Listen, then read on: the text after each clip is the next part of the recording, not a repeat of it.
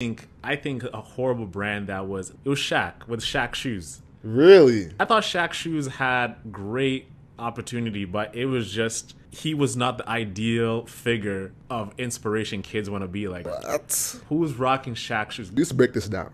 So, Shaq made shoes to go to Walmart, right? Mm-hmm, mm-hmm. But what I think he actually did wrong is that he could have had a top down approach, but he went bottom up. Went to Walmart and just had his shoes out in the gutter, like next to like Jesus sandals and stuff like that. That ruined the credibility of the brand because like, oh, you're you're wearing the Walmart shoes. He still sold crazy numbers, bro, and it's still going crazy in Walmart internationally. I think where he could have done better is had a smart deal where he could have said, hey, I want to do a Shaq for Foot Locker and a Shaq for Walmart.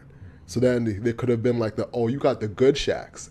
Oh, I see you rocking the bad Shaqs. It- and then you could have went on both